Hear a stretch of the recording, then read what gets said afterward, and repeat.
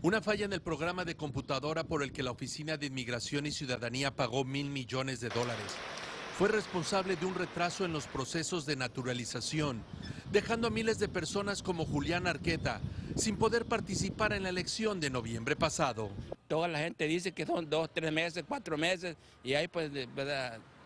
Eh, pero yo me aburrí de, de, tanto esperar. Después de 40 años residiendo en los Estados Unidos, él solicitó su naturalización hace un año, pero apenas esta semana recibió su cita para la entrevista de ciudadanía. Ellos cumplieron, los que no cumplieron fue eh, inmigración, que no movió hacia adelante esas um, peticiones y de, por ese motivo esas personas no pudieron votar. Un reporte del Comité de Vigilancia de la Oficina de Inmigración y Ciudadanía señala que el error en el costoso programa de cómputo causó que los retrasos en los procesos de ciudadanía se dispararan al 64% cuando en promedio el número de solicitudes de naturalización aumentó solo 14% en comparación a las elecciones presidenciales de 2012. Y ahora tenemos un resultado en la cual el futuro de los inmigrantes, de sus familias, está en riesgo, está muy perjudicado. Entonces nosotros ten, uh, tenemos que asegurar que esto nunca vuelva a pasar. Una vocera de la Oficina de Inmigración y Ciudadanía señaló a Univisión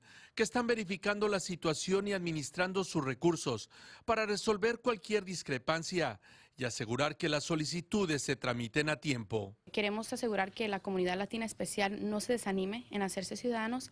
Eh, normalmente el proceso dura de 4 a 6 meses, pero ahorita con este retraso dura de 8 a 12, pero acuerde que la ciudadanía es por vida. Organizaciones que promueven activamente la adopción de la ciudadanía estadounidense entre los inmigrantes que califican.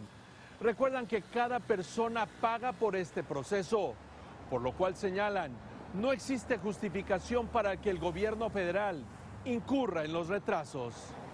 En Los Ángeles, Jaime García, Univisión.